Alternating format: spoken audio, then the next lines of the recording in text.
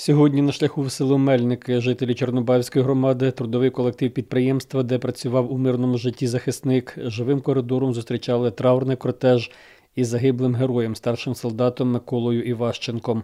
Він поліг смертю хоробрих 24 березня під час мінометного обстрілу з боку Збройних сил Російської Федерації поблизу населеного пункту Залізнянське Донецької області. Захищаючи волю та незалежність України, герою назавжди буде 29. thank you